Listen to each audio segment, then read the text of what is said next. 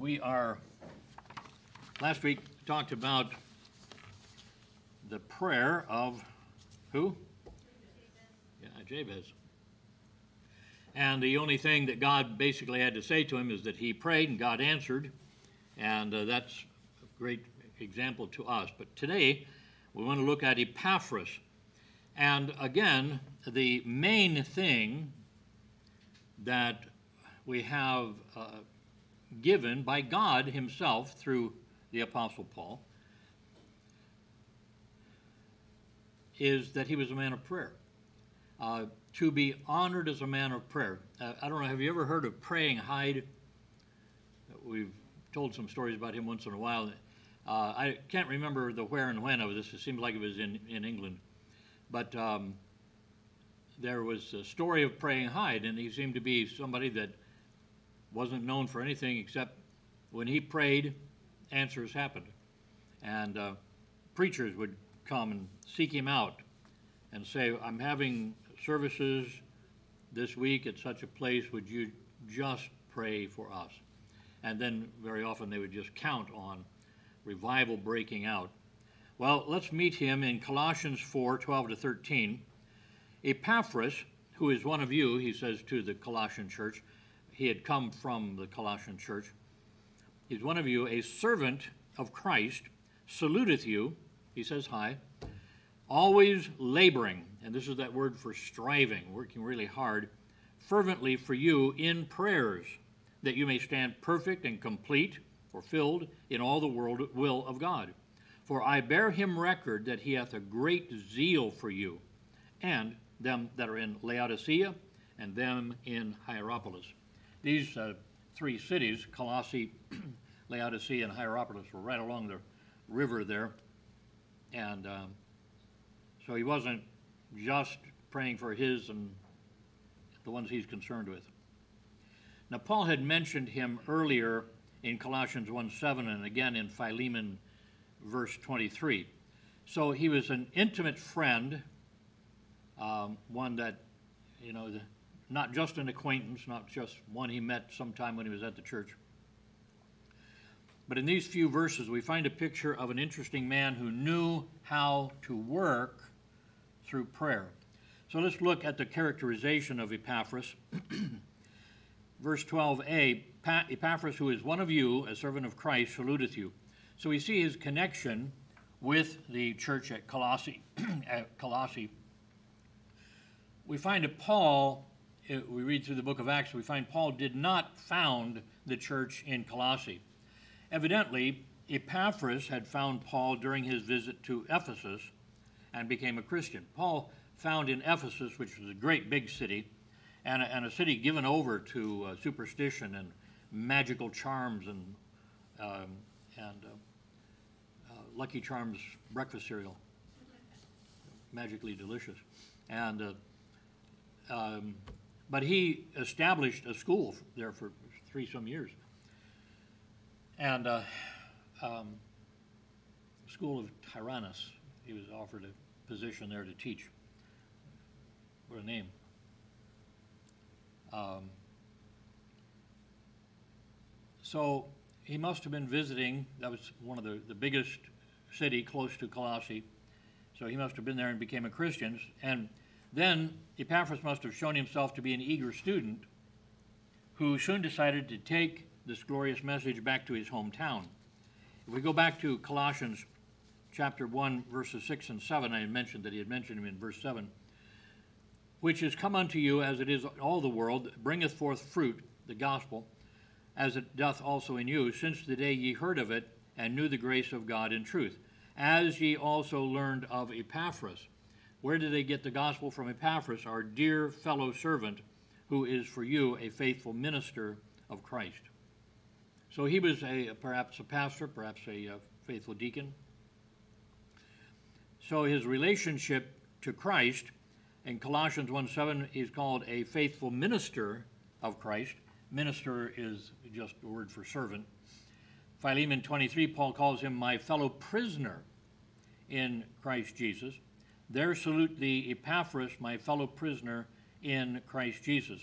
And here, Paul calls him a servant of Christ. Now, this word for servant is the common word for slave. Most of the times in the New Testament, when you read the word servant, you can count on it being doulos, which is the word for uh, the, the not, not an exalted slave at all, just the basic slave that is owned by somebody and does whatever he has to, whatever the uh, uh, slave owner says.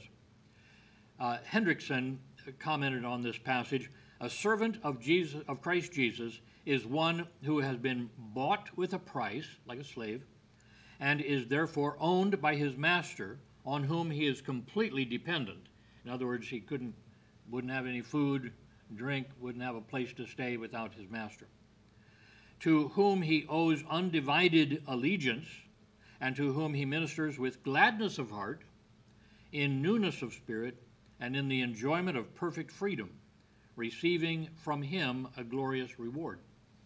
So that kind of slavery is uh, quite a happy one. This is that you have found the best master possible and have dedicated your life to him. And then his greetings to the Colossians. Epaphras had made the difficult journey to Rome to visit Paul as he was being held prisoner. Now, we do not know why he stayed, Normally, they dropped off the gift that was being given uh, from the church and relayed information, but uh, something about the situation uh, encouraged him to stay. But while he's there, he sent back um, a salute back home, and uh, Tychicus was the fellow that uh, took that back instead of taking the letter himself. Epaphras sent it with Tychicus. Perhaps we can read into it that he felt that Paul needed the support or that Epaphras himself needed the revival of spirit from faithful Paul. And maybe both. Uh, maybe they needed each other.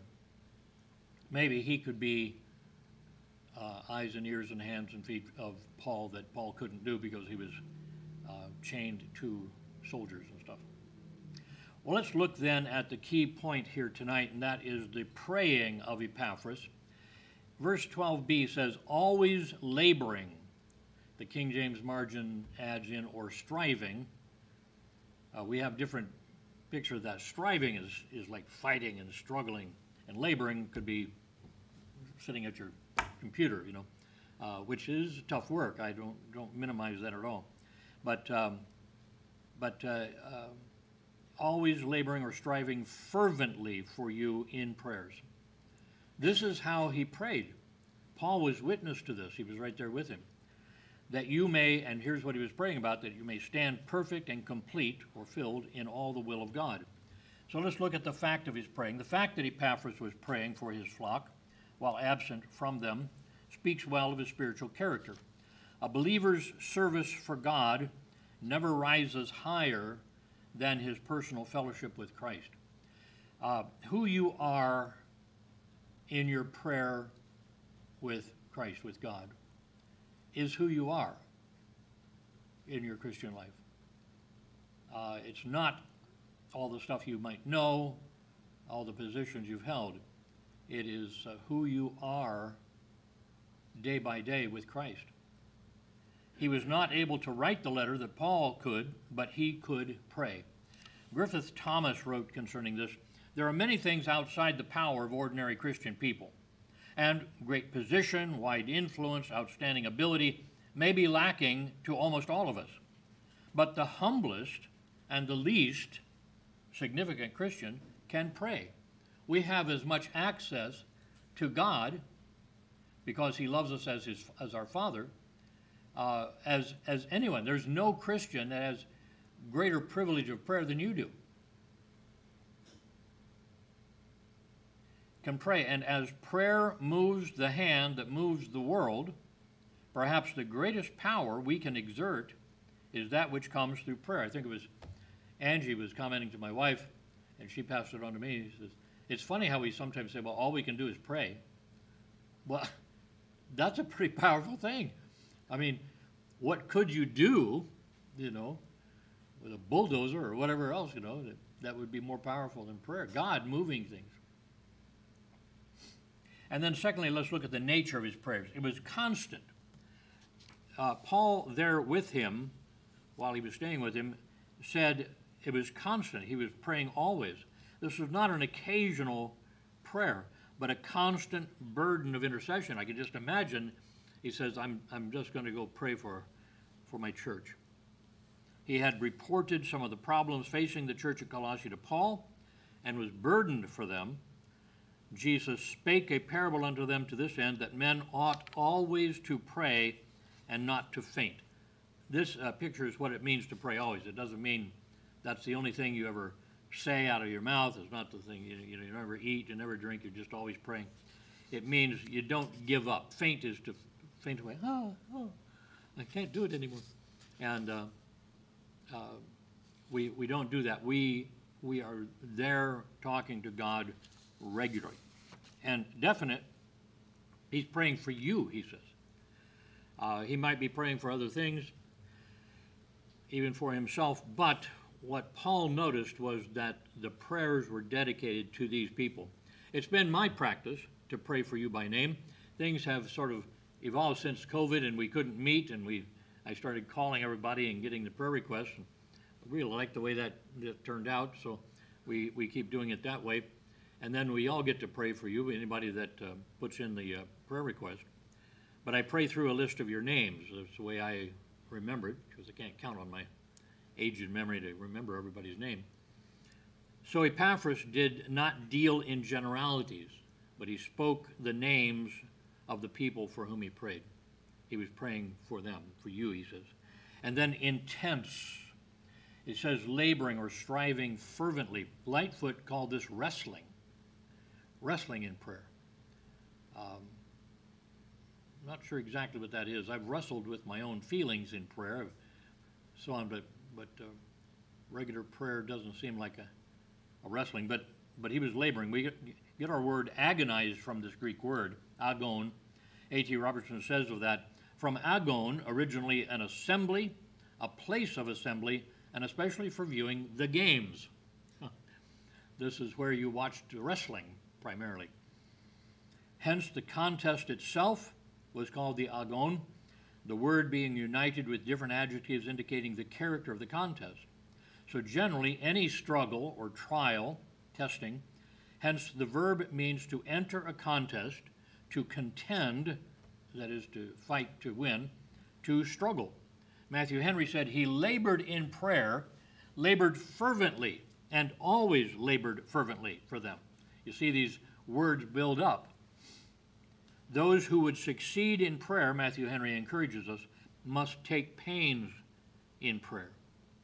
We must be earnest in prayer, not only for ourselves, but for others also. It is the effectual, fervent prayer which is the prevailing prayer and availeth much from James 5:16. And Elias prayed earnestly that it might not rain, James 5:17. And so he prayed earnestly that it wouldn't rain, and for three and a half years, it didn't rain. Um, that's a long time. And then this point C is the aim of his praying. What was he praying for? We often pray for physical needs, and there's nothing wrong with that. Uh, but we ought to be uh, concerned for the spiritual needs of others. And this is what he was praying that you may stand perfect and complete in all the will of God. The will of God is expressed in the Bible. This is what God wants you to do, you see. This isn't some mystical will of God. I'm waiting for the will of God to appear to me in a vision. Uh, heard about the lady that reached blindly into her sock drawer and pull out socks that God was leading. She most often wore mismatched socks. And people laugh at her, but she felt she was walking the way God wanted her to walk. Well, you know, this isn't this isn't the will of God. This is finding out what God says in His Word and obeying it. So, Matthew Henry says of this to stand perfect and complete in the will of God is what we should earnestly desire both for ourselves and others. We must stand complete in all the will of God, in the will of His precepts, His uh, laws, by universal obedience, and in the will of His providence, how He provides for us, by a cheerful submission to it. Has He given us a time of trial? We say, Yes, Lord. I'll, I'll uh, endure it. I'll gain the strength of, of perseverance. Uh, cheerful submission to it. And we stand perfect and complete in both by constancy, staying on, keeping on, keeping on, and perseverance unto the end. So the power for stability that you may stand, that was his prayer. Uh, that you will not fall, that you will not backslide, but that you will stand. We talked about the armor of the Christian and the, and the shoes. Those shoes were made, they weren't spiked, but they were uh, hobnobbed or something so you had, you had a thing to grip the soil while you were holding your shield and fighting. And uh, he wanted them to stand. Certainly, they might fall in their own power. The request is in the aorist passive.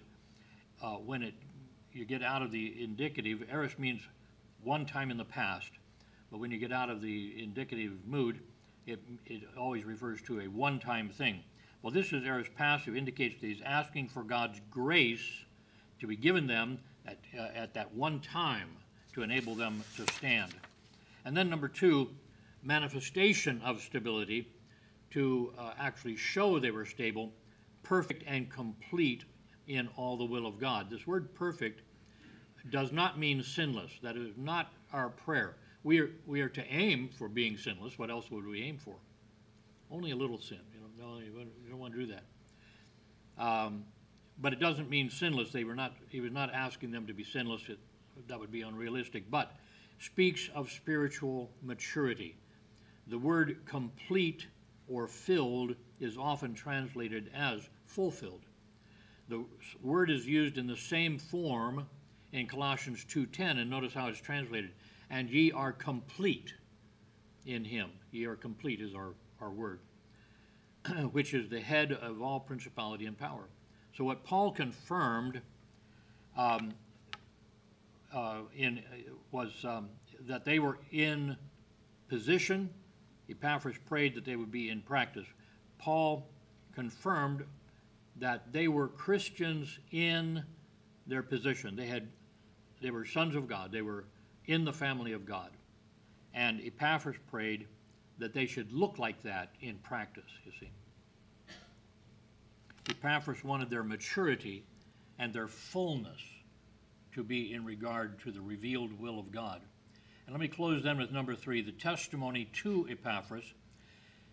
Paul just sits back and admires this man. He says, For I bear him record that he hath a great zeal for you, and them that are in Laodicea, and them in Hierapolis. So the person giving the testimony, I bear him record. The Apostle Paul takes this opportunity, bear record of his friend. I was here. I heard the prayers, perhaps, you see. That's how you knew. Then the occasion of giving the testimony, I bear him record, he hath a great zeal for you.